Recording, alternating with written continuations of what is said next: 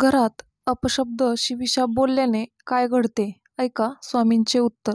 भरल्या घरात वाईट शब्द बोलल्याने आपल्या आपल्यासोबत आणि आपल्या आयुष्यात काय घडू शकते किंवा आपल्या कुटुंबांसोबत कोणते परिणाम घडू शकतात काय होऊ शकतं या संदर्भात आज मी हा व्हिडिओ बनवला आहे. आपल्या घरातील वास्तू नेहमी आपल्याला तथास्तू बोलत असते. त्यामुळे वास्तूमध्ये बोलताना अतिशय सांभाळून बोलायला पाहिजे. कारण वास्तुपुरुष नेहमी तथास्तू म्हणत असतो. ज्या घरात सतत भांडणे होतात नकारात्मक चर्चा होते लोकांना लोकांना नावे ठेवली जातात. त्या घरात नकारात्मक स्पंदने असतात त्या वास्तूत आपल्याला जावेसेही वाटत नाही. यासाठी आपणही आपल्या घरात सकारात्मक स्पंदने निर्माण करण्यासाठी शब्द टाळले पाहिजेत. तर मित्रांनो आपले घर हे घरातील सर्व सदस्य मिळून तयार झालेले असते. घरातील सर्व सदस्य एकमेकांशी मिळून मिसळून राहतात. त्यामुळे घरातील सर्वांनाच सर्वांबद्दल सर्व गोष्टी माहीत असते. सर्वांचे एकमेकांवर प्रेम असते परंतु घर म्हटले की कधीकधी थोडं थोडं थोड्या थोड्या गोष्टींवरून वादविवाद भांडणे होत असतात. काही वेळा घरातील लोकांची एकमेकांची मते पटत नाहीत. मग त्यामुळे परिणामी कधीकधी वादविकोपाला वाद विकोपाला जातात आणि एकमेकांना खूप वाईट आणि अपशब्द बोलले जातात. तसेच काही वेळा इतका राग प्रचंड आलेला असतो की आपल्यालाच आपल्या जवळच्या लोकांना आपण आपण संतापाच्या भरात म्हणजे रागाच्या भरात वाईट बोलून जातो आणि कधीकधी त्या बोलण्यामध्ये वाईट हेतूसुद्धा नसतो.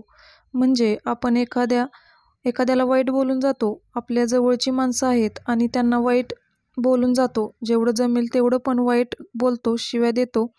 पण आपल्याला तो उद्देश नसतो. नंतर आपल्याला समजते की आपला बोलायचा हा उद्देश नव्हता. वाईट बोल वाईट बोलण्याचे किंवा आपल्याला त्याला वाईट शिवी घालायचा असा मनापासून हेतू नसतो तरीही नकळतपणे रागाच्या भरात असं होऊन जातं.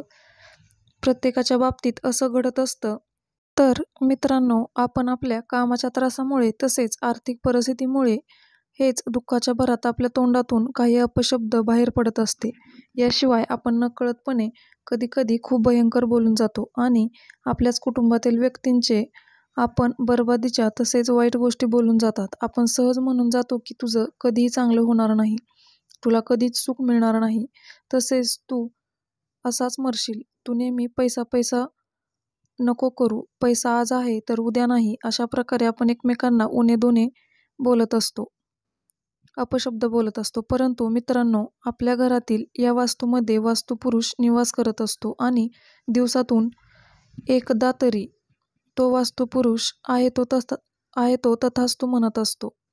त्यामुळे आपण जर नेमके त्याच वेळी घरातील एखाद्या सदस्याला काहीतरी वाईट किंवा अपशब्द बोलत असलो तर त्या गोष्टीला वास्तुपुरुष तथास्तू म्हणत असतो. अपशब्द सारखे बोलत गेल्याने किंवा त्या सर्व बाबींची फळे म्हणजे आपणच बोललेल्या शब्दांचे वाईट परिणाम आपल्यासमोर येऊ लागतात. मग घरातील सदस्य आजारी पडू लागतात किंवा आर्थिक समस्या निर्माण होतात.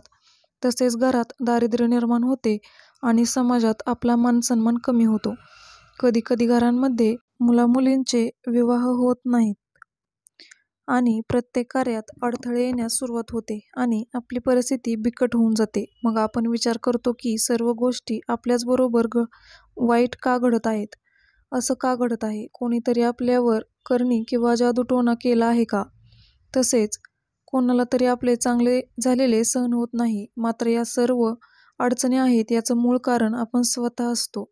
कारण आपले वाईट बोलणे हे आपल्या लक्षात येत नाही आणि त्यामुळे आपण स्वतः हे संकट स्वतःवर ओढवून घेतलेलं असतं. आपण जे मागतो ते बोलतो तेच सर्व काही आपल्याला मिळतं.